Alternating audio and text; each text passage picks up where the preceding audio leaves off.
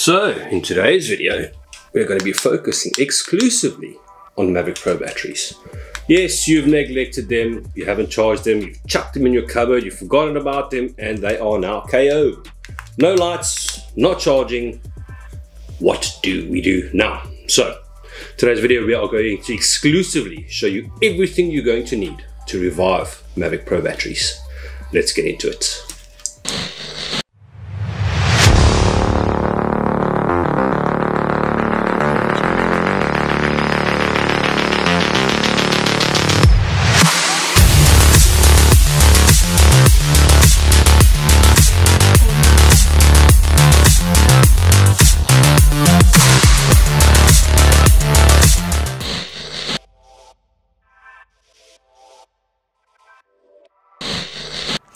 So the tools needed will be a Dremel, a bench power supply, a soldering iron, EV2300, a PC or laptop of your choice, and a battery balance charger. Right, you've just seen the, the list of tools that you're going to need to uh, perform this uh, surgery on your Mavic Pro batteries. As you saw there, we had a Dremel 4000.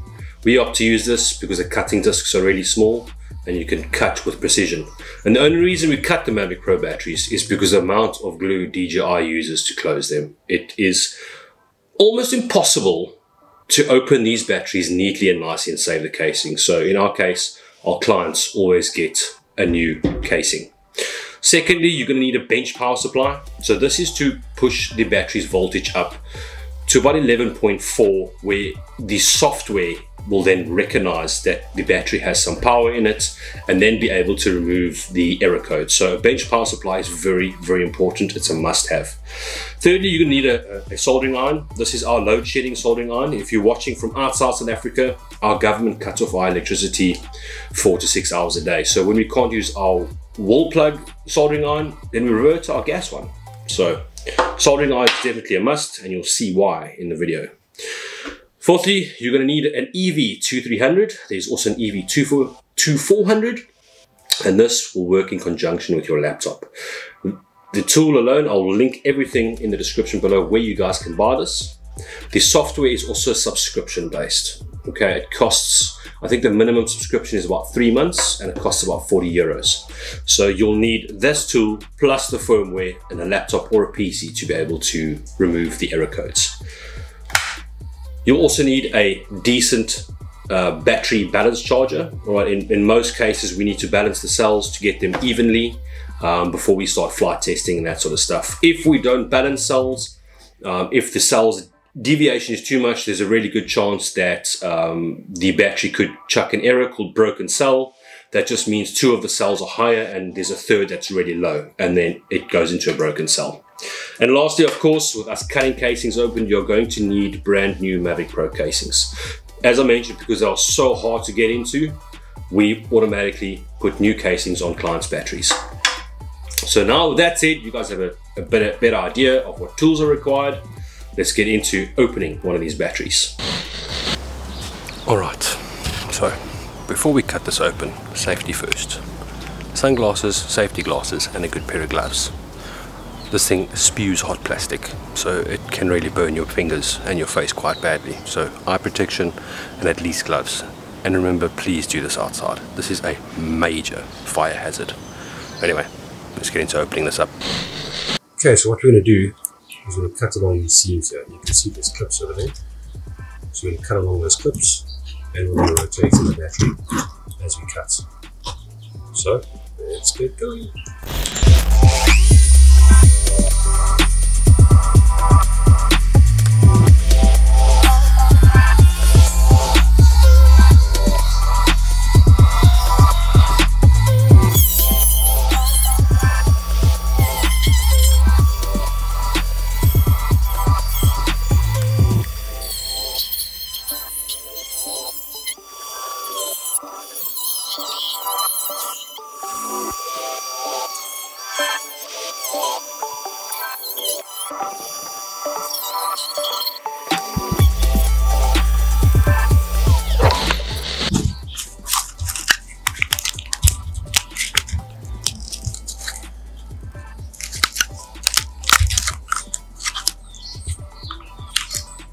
You see all the clips down the side here.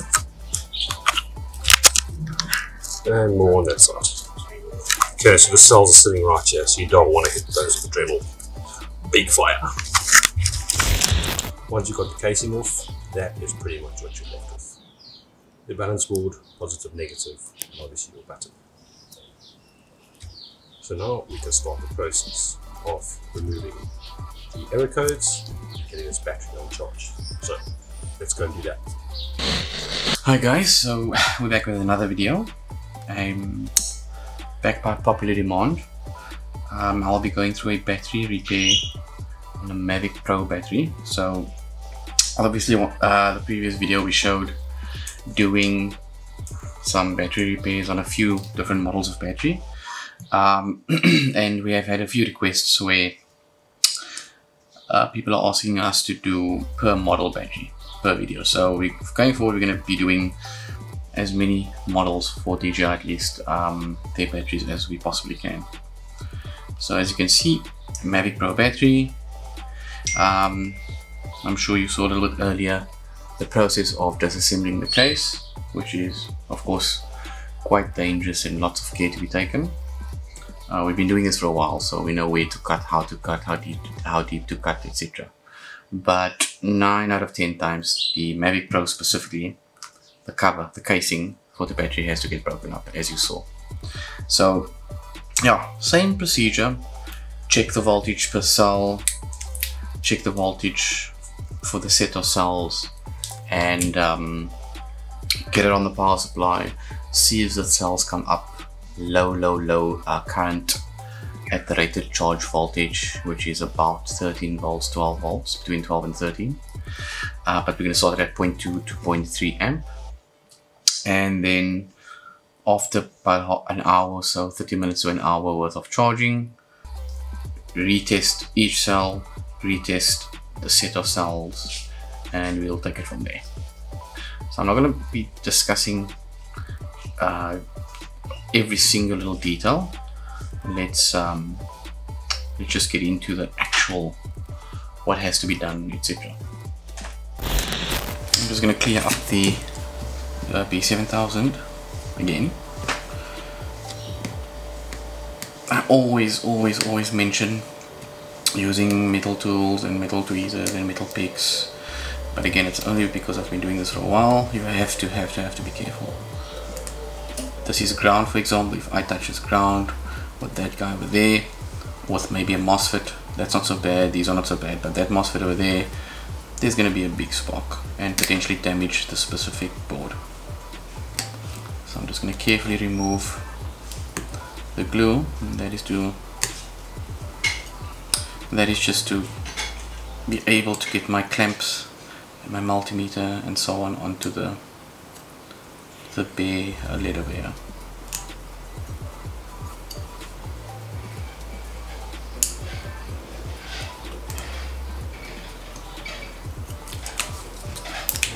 It's usually easier to just heat up this glue. Uh, that's gonna make a lot of noise now, so I'm not gonna do that. And normally when the when the um, glue is like hard, like crispy dry, that breaks off quite easily as you can see.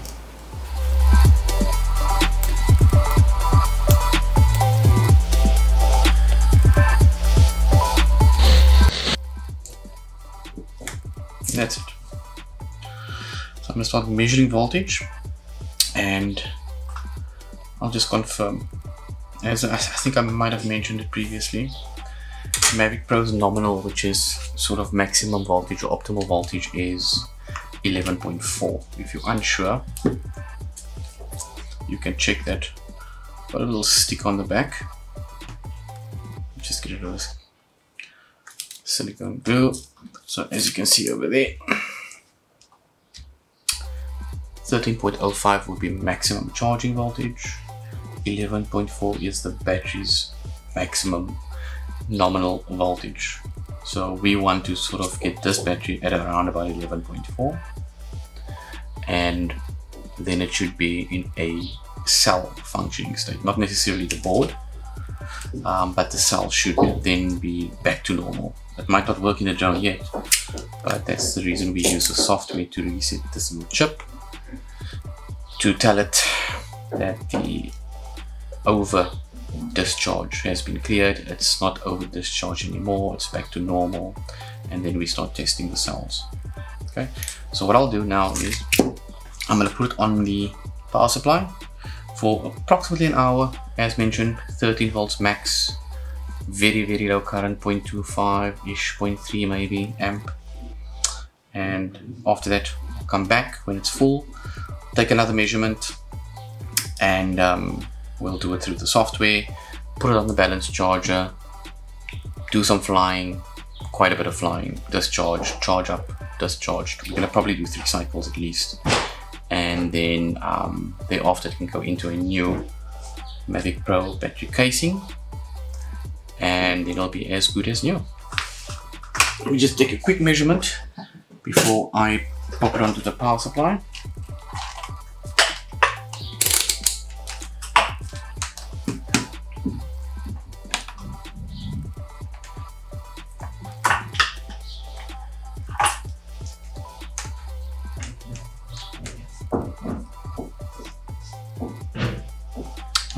See it's not completely completely flat. It's about 7 volts. Approximately. See my multimeters battery also needs replacement. So all I'm going to do now is I'm gonna just have a look at at least two cells. I know the total is 7 volts. So if I'm getting about 2.3 volts per cell, then they are fairly close to each other, which is important. These guys need to be balanced.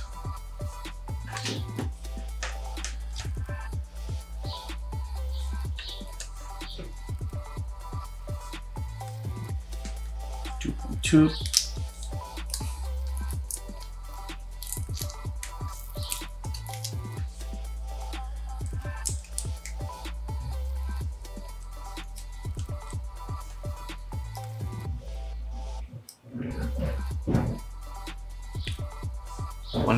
1.7 not sure if you can see sorry 1.8 2.2 and if you do the math the balance would be on the last cell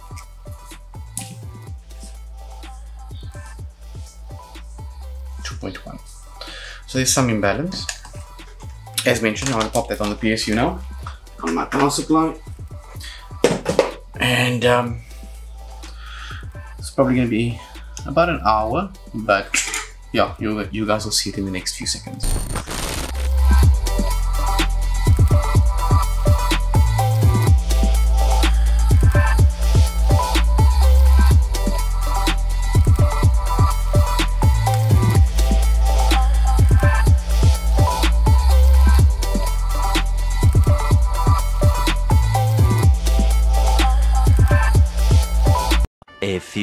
Moments later. Cool, I'm just gonna turn the ground point clock and data point quickly to get my little homemade adapter on there.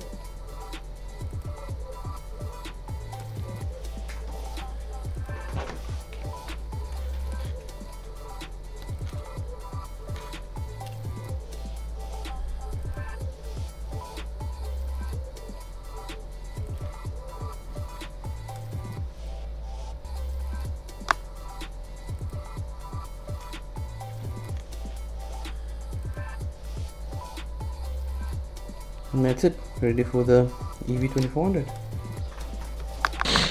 okay guys wires are soldered on. EV2400 ready to be plugged in. So for DJI batteries the SMB gets used. As you can see my little homemade adapters all soldered up. Plug in that bad boy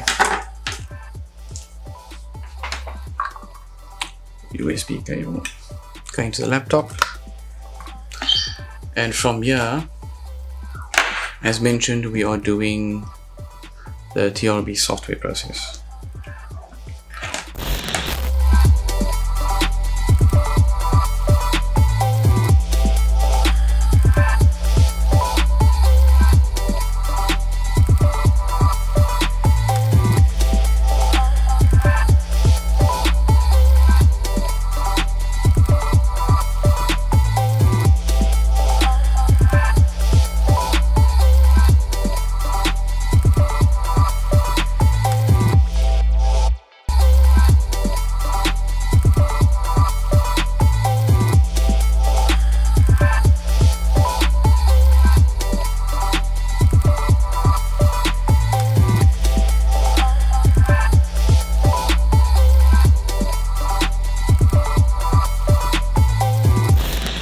normally at this point we'll go over to the balance charger, but in this battery's case all the cells were perfect and there was absolutely no need for it.